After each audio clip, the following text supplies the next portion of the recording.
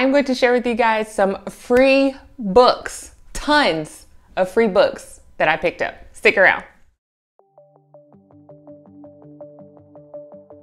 Welcome to the channel. My name is Morgan here at The Life of Tillmans. If this is your first time, I am so happy to have you here in this space. I hope that while you're here, you find everything that you need, love, and enjoy right here on the channel. Go ahead, click that subscribe button so that you do not miss any of the videos uploaded on the channel. If you've been with me before, welcome back. I'm excited to share with you guys books because anytime I get books, it's just this whole feeling that I get. But when those books are also free, that is even better, like the absolute best. Long story short, here where we live, our local libraries do a Friends of the Libraries sale every year, um, with the exception of the last two years because of COVID. But prior to that, they did this sale every year. And what they offer are books that they are, I'm guessing, no longer using. I'm still kind of curious as to how they determine which books to offer in the sale. Maybe they have too many copies of them, or some of them may be damaged on the outside, things like that. But they offer these books over a three day time period for sale, dirt cheap. Nothing typically over $5. And it's not just books, they also do DVDs and audiobooks and CDs. Anything that you would find at the library is offered for sale at this Friends of the Library sale. However, because I am a board member of a nonprofit organization, we are given the opportunity to come in after everyone has purchased everything that they want on the last night of the sale, and we get an opportunity to grab books for free as teachers, which I am, as a nonprofit organization, which I am a part of, um, and also teachers who are in public schools, any type of uh, person who's in education. So we showed up for this amazing opportunity to grab us some free books. Of course, our first priority was to pick up books for the nonprofit organization and then our homeschool. I have tons of books. Disclaimer I have not read any of these books. I did look up topics on all of the books, but I may not remember exactly what the book is about. So just bear with me. Um, I will say that there were, they had a section that was for children. So tons of children's books, picture books, chapter books, all of that. They also had boxes that were labeled specifically with all children's books. The kicker to the boxes was that you could not go through them to see and sort through the boxes, you just had to take a full box, which was still awesome. I did not grab any boxes, but we grabbed a few for the organization for our nonprofit and did go through um, and look at them, and they had some really great readers and things like that. So, if in your area, your library has any type of sale or giveaway or anything, check it out. And if they don't, maybe suggest it. Think about it. Libraries get tons and tons of books in every year, new books. So the old things have to go out. But just because they're old doesn't mean that there is not still great quality in those books. We don't just throw away books. I'm curious to know what they do with the thousands of books that don't sell um, for the specific sale or that the nonprofit and, and teachers and educators don't take with them. I'm really interested because when we left that night, there were still thousands of books available.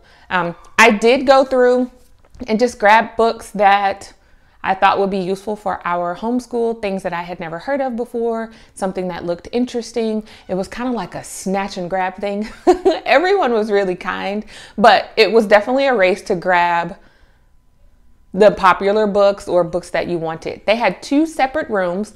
One was a better book room and the other one was a general room. Now I say room, but this sale was at our local fairgrounds.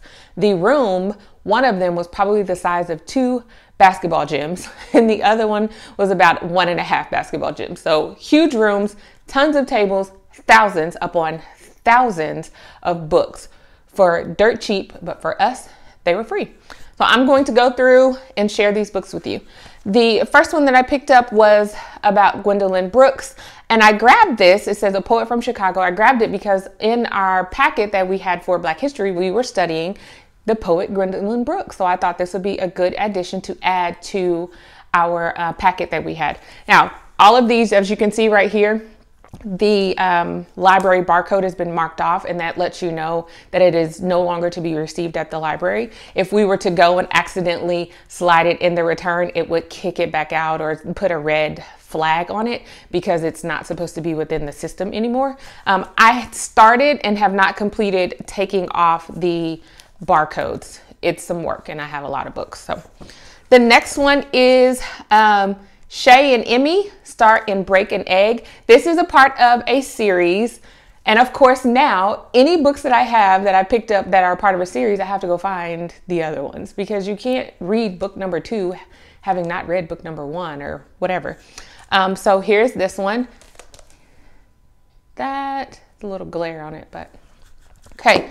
The other one I grabbed, Gone Crazy in Alabama, and we have One Crazy Summer.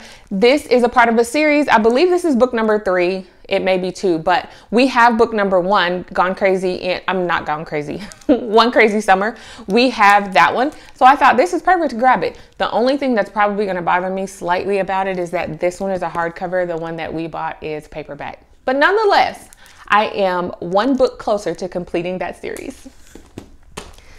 This one is Betty Before X, and I read a little bit about this. This is the, she was the wife of Malcolm X, or maybe the girlfriend of Malcolm X. They have a daughter together. The daughter is the one who wrote this book. So I thought it'd be interesting. We have not done much and learned much about Malcolm X or his life or those surrounding his life, and I thought this would be a good intro into that. The Stars Beneath Our Feet. I forget who this is written by. David Moore. This is a part of our O Freedom curriculum. I started scanning through this book back in August when we started that curriculum and I was like, I want to get that book. But at the time I didn't buy it because we had checked it out from the library and I still didn't have to buy it because I got it for free. This is Nikki and Deja. I don't remember what it's about, but it is a part of a series. I believe there are about five or six books within the series. So this will be a nice, it's a thinner chapter book, but a nice little chapter book for our girls to read. It does have some uh, pictures in it as well. So there we go. And for all of these books, this library part, I probably will just take off. Okay, picked up a book on Candace Parker. We have a basketball player. She actually picked that book up on her own. The Mitzi Tulane book, we have another book by Mitzi Tulane, uh, What's That Smell? So I thought this would be awesome. This one is The Secret Ingredient. I don't know how many Mitzi Tulane books there are, but we will get them all eventually. This one is Greetings, Leroy. This is about a boy not being accepted in a certain area. He gets a pen pal and starts writing to him. Um, I believe the pen pal is in Jamaica, if I'm not mistaken, or maybe Kenya. I can't remember exactly which one. I know those are really far off, but um, but it's about friendship and being accepted and, and growing up in a new place. Stitching and pulling. This tugged on my heart because my grandmother used to make quilts and it is about quilting. This is actually a poetry book, and all of the different poems that are within the book are based on how people, um, and particularly women who did quilting, felt about the quilts that they created and why. I thought it was really awesome. Okay, the next book is Belle the Last Mule at Gee's Bend. This is also a part of, of a series, I believe, but I can't remember. Um, but I did read a little bit about this book and loved it. I thought it was really cute. I don't remember exactly everything, but it, it stuck with me. That's why I have it. Ruby's baby brother. I'm not sure how we ended up with this. I think maybe Mallory picked it up as she was with me. The girls are with me um, because we don't have any babies on the way. But it's about Ruby adjusting and how she feels to having a new baby brother. I don't know. This may be something that we give away. a song for Jamila. She is um, interested in music and her favorite artist, I want to say she is in another country as well. I cannot remember where, but she is in another country. I says the summer holidays are here and Jamila is bored as a girl can be. All she can think about is the Afro Idols TV final. So when she lands a job in Divine Braids hair salon, she can't believe her eyes at the arrival of a glamorous Afro Idols celebrity, Miss Chaka Chaka.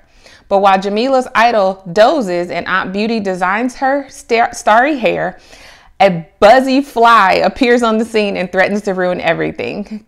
Can creative Jamila save the day? It was a cute little story from that part. That's what I read in the beginning. The next one is The Quickest Kid in Clarksville, and this is a book about Wilma Rudolph. These last two books, this is These Hands. I was drawn to this book as soon as I saw it because of Floyd Cooper. If you do not know who he was, he was an amazing illustrator of some awesome, awesome children's picture books um, and other works of art.